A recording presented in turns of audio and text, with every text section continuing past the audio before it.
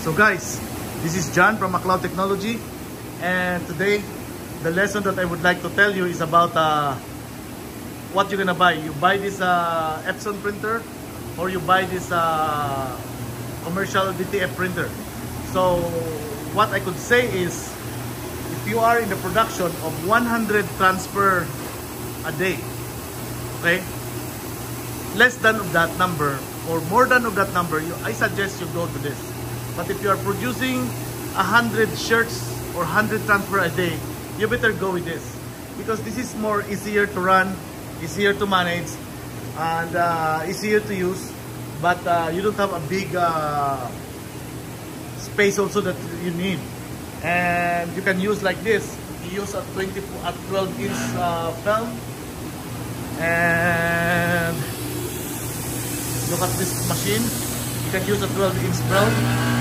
Then you can use a 24 inch film with that too. Uh, but this one is this is really good for production. So it depends to how how many transfer or how many shirts you are trying to produce every day. If less than 100, I suggest go to Epson. Okay, go to Naraushib the converted printers. Or else you go with this.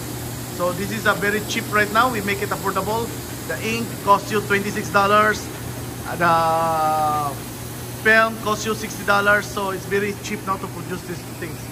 And this would make you print in a very efficient way and you produce a lot. This one can print like one whole roll of film a day.